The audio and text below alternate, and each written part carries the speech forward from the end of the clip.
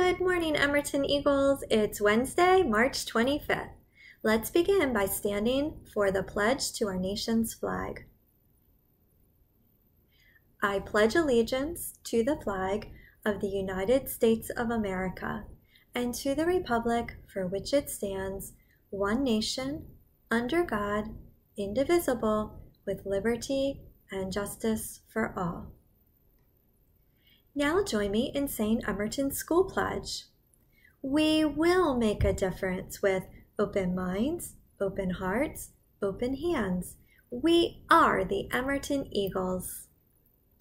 We learned how our families in Colombia and Mexico greet each other in Spanish by saying Buenos dias, which means good morning. Did you remember this greeting? Take a moment now to pause the video and greet someone in your family in Spanish. Today's weather is expected to be rainy again with the temperature in the high 40s. Time to find another great book and a fun game. Our positive thought for the day is it's not what happens to you, but how you react to it that matters. Everyone gets hurt. Everyone feels a loss. Life is hard for everyone. We all go through hard times, just like we're doing right now. But we can choose to make the focus on how will you respond to it? How might this make you a better person? How could you shine bright through this? Each day, we choose our reactions on the sunny days and the rainy ones.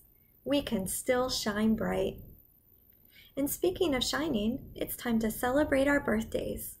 Last Wednesday, March 18th, Antonio turned six in Miss Morelli's class, and Mrs. Spencer, that's me, turned another year older.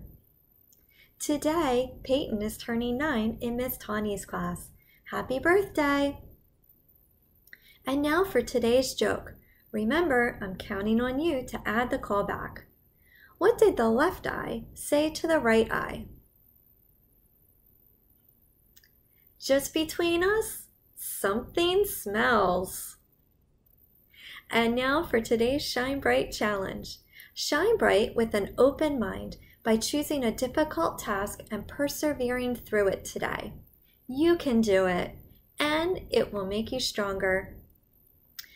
Also, don't forget to visit our school website to write a quick message to an Emmorton staff member or to submit a Shine Bright recognition or a joke. We'll see you here again tomorrow. Have a wonderful, and this time not a wacky, Wednesday, Emmorton Eagles.